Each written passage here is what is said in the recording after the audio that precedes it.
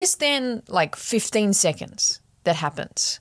I think I had always dreamed of it looking exactly like this, it being exactly like this, it being introduced just like this. Anakin saying, Hey, Snips. And to be honest, uh, as a Star Wars fan and with the kinds of amount of media we have out now, th- there's very few times that our expectations are met. Now, not only met, but just just happened and and it happened in front of our eyes exactly how we want them. That that is pretty rare because we're all very creative and have our kind of our subjective views.